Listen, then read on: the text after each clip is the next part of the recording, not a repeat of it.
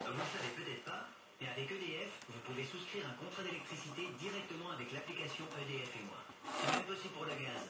Et comme tout se fait avec la paix, vous réalisez vos démarches quand vous...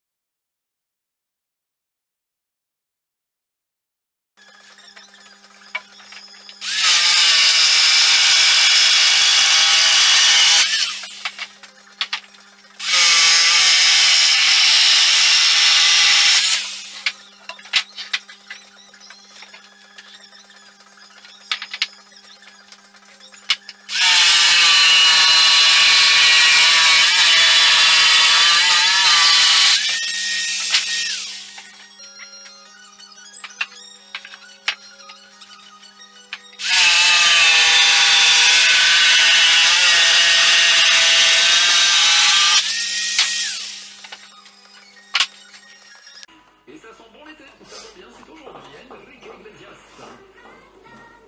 L'été débute officiellement aujourd'hui, lundi fin juin. Les météos semblent vouloir faire des efforts. On va passer en mode pour que si vous permettez. On va croiser les doigts et tout ce qu'on peut croiser d'ailleurs, tant que possible. McDonald's Radio, avec deux jolis rendez-vous qui approchent, et notamment le United Music Festival le 9 juin.